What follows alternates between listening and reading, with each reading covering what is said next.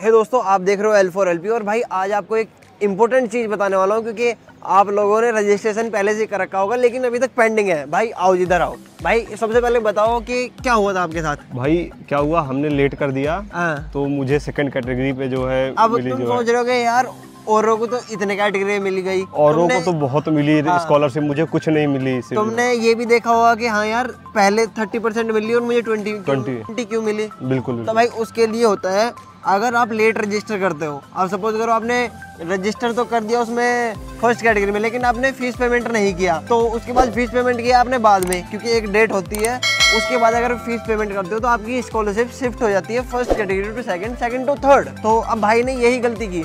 तो दोस्तों, अगर आपने कोई ऐसी गलती कर रखी है ना, कि रजिस्टर कर के छोड़ रखा है और सोच रहे हैं कि फ़ीस पेमेंट कर देंगे बाद में तो भाई बाद में नहीं करना, जाओ फ़ीस पेमेंट करो, क्योंकि अगर आपने एक बार फ़ीस पेमेंट कर दिया, फिर आप स्लॉट अपनी मर्ज़ी से बुक कर सकते हो।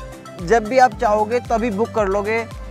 मीन्स ऐसे हो जाएगा कि फ़ीस पेमेंट करने के बाद आपको ये हो जाएगा कि आप जिस कैटेगरी में आपने किया है उसी में रहोगे। तो भाई जाके जल्दी से करो। और अगर आप एलपी में एडमिशन लेना चाहते हो थ्रो स्कॉलरशिप तो आप ये वाली वीडियो देख सकते हो। एलपी के बारे में कहा और कुछ जानना है तो आप ये वाली वीडियो देख सकते हो।